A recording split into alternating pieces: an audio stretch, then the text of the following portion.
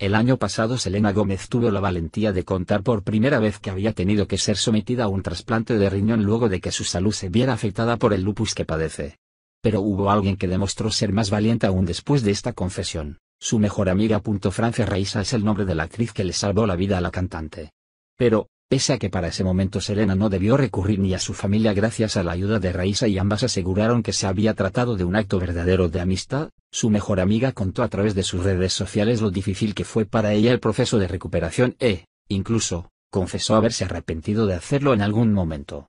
Tras la operación, Francia se vio inmersa en una profunda depresión, algo que debió enfrentar con todos los problemas físicos que le significó perder un riñón, no poder caminar y, por lo tanto no poder ir al baño sola, y la cicatriz que ahora tendrá en su cuerpo para toda la vida. El peor momento para Raisa llegó cuando se arrepintió de haber donado su órgano pues llegó a sentir miedo de morir. Que Selena rechazara el órgano era otro de los temores a los que se vio enfrentada la actriz. A pesar de todo, Francia logró recuperarse tanto física como mentalmente y la amistad que mantiene con Selena ahora es más fuerte que nunca, que nunca.